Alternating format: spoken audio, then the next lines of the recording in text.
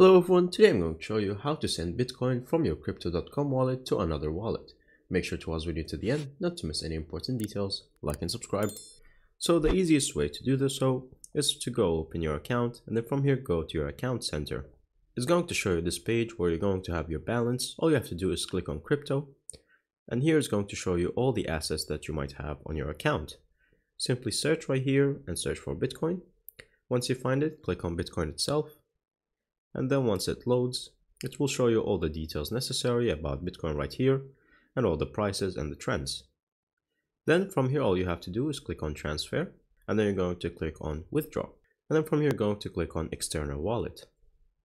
And so from here you're going to add new wallet and then it's going to give you the options. So you're going to search for Bitcoin again and then once you do that you're going to click on it and so you have selected the network for Bitcoin and you have all the details necessary downstairs. So we're going to exit the app and go to another wallet, such as Phantom for an example. Once you open your other wallet, you're going to search for Bitcoin. And then from here, you're going to click on Receive. And then from here, you're simply going to copy your address, which is right here in front of you. Then go back to your app. And then from here, you're going to long press and then paste your address. Then from here, you're going to click if you are the owner or not for the wallet. But in case not, you can fill in the recipient's name last name, select the country, select the wallet type and the wallet name, and then after that you're going to click on the amount. And that's pretty much it. Thank you guys for watching, see you next time, bye bye.